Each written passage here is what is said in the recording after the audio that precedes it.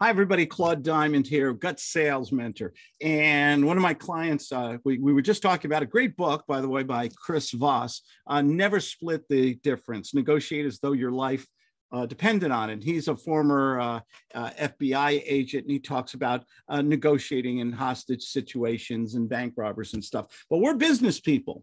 And my client, and we were negotiating on a real estate deal, and the clock was ticking this person had a real estate deal, they had it under a contract, it was a good price and terms, but the contract was going to end in seven days. And the phone was not ringing with a lot of warm prospects for this particular deal.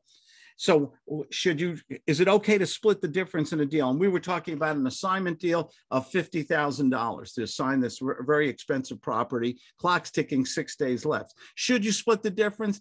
Absolutely always split the difference if you have constraints. If the time uh, the time is elapsing, you don't have much time. The mark it's not attractive to a lot uh, to a big pool of prospects. Sometimes something is better than nothing. So in the negotiation with this deal, we negotiated it down to 37.5 instead of $50,000.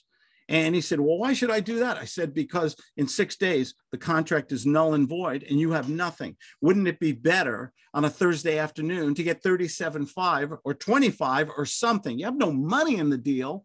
Another rule you can't get hurt if you don't have any money in the deal. And here's the other part that, you know, my dad used to always say, if you miss the bus, there's another one in 15 minutes. You do a deal, you don't make as much as you want, but you make something and you put money in your pocket today. Is that okay? You better believe it because you can do other deals. You can move forward. Why? Because you're gaining experience, you're gaining knowledge, your confidence is soaring.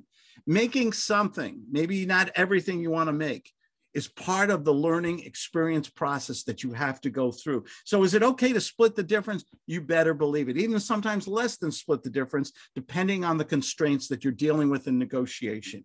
If you have the time, if you have high demand on your product, we can see this in real estate right now. People are getting over, they're getting over what they're asking for on real estate. Why? Because the demand is so strong. That's a different scenario. You don't have to split the difference. You can get full price, you can get hundreds of thousands over the prices we're seeing here in California right now.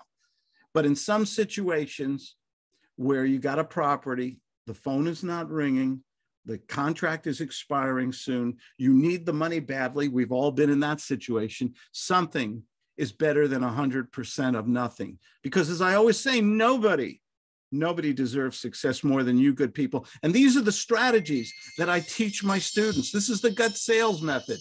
Somebody's calling me right now. These are the strategies you need to become successful. Get yourself a mentor, practice, role play. Study my GUTS sales method. It's three steps, it's a question based system. It's based on my years of study on psychological areas of persuasion and influence. And if it works for me, it'll work even better for you. You've got to learn to use the right words at the right time. Go to my webpage, claudediamond.com and schedule a free training session with me or get a free book. I give everyone a free book if they schedule with me or call me up today, 970 281 5151, and I'll teach you how to give good phone. Take care.